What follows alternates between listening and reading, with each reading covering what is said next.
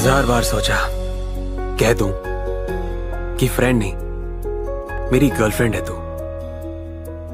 पर सपने टूट जाने का डर कभी दिल से गया ही नहीं। बस इतना है तुम से कहना, बस इतना है तुम से कहना, बस इतना है तुम से कहना।